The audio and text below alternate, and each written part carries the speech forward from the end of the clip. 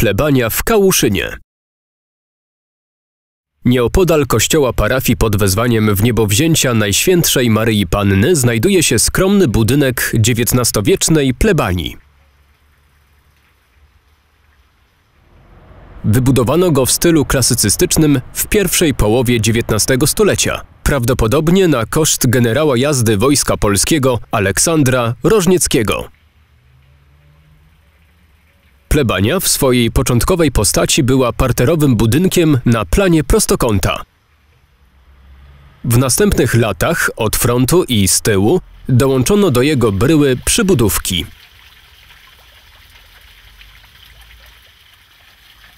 Dwuspadowy dach naczółkowy pokryty jest czerwoną blachą. Na jednej ze ścian widnieje tablica z zamieszczonym rokiem budowy Anno Domini 1837.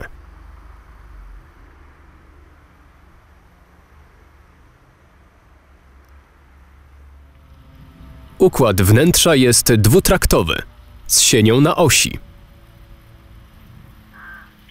W latach 90. XX wieku został przeprowadzony gruntowny remont budynku.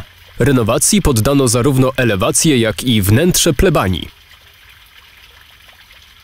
Wymienione zostały między innymi stare okna ze szprosami. Do cennych przedmiotów, jakimi może się poszczycić kałuszyńska plebania, należy portret kasztelana czerskiego i wojewody mazowieckiego Kazimierza Rudzińskiego. Obraz ten został namalowany najprawdopodobniej w pierwszej połowie XVIII wieku, na pewno po roku 1737. W 1926 roku został gruntownie przemalowany i mylnie podpisany na odwrocie.